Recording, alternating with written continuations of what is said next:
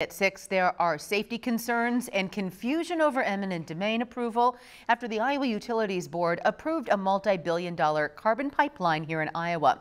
Our Connor O'Neill is here, to, here uh, to tell us a little bit about all this frustration in our state right now, Connor. Yeah, frustration's right, Stephanie. As you just mentioned, it's a $5.5 billion carbon capture pipeline project that was approved on Tuesday. And since then, some state officials and farmers have admitted to the environmental benefits behind this project, but others expressed expressed concern that the pipeline would take people's properties.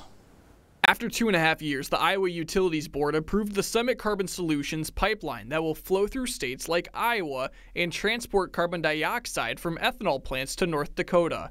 Costing around $5.5 billion, the pipeline project has received pushback in the past over safety concerns for any potential leaks, but also concern over the approval that Summit Carbon Solutions will be able to use eminent domain for the project to essentially take private land from people not wanting to sell it for public use. We're actually obviously opposed to eminent domain for a private industry. Um, I just have trouble wrapping my mind around that constitutionally. However, Summit Carbon Solutions has worked with farmers and landowners to get permission to use private land for a public project. Summit Carbon Solutions said about 75% of landowners along the pipeline route in Iowa have agreed to provide their land for the project.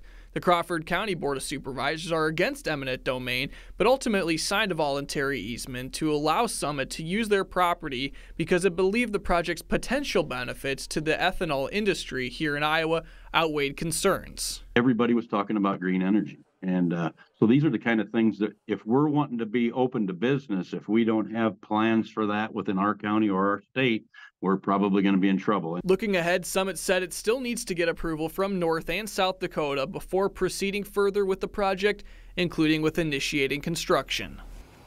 And since Tuesday, opponents of the Pipeline Network project, like the Iowa chapter of the Sierra Club, have said it plans to appeal the Iowa Utility Board's approval. Stephen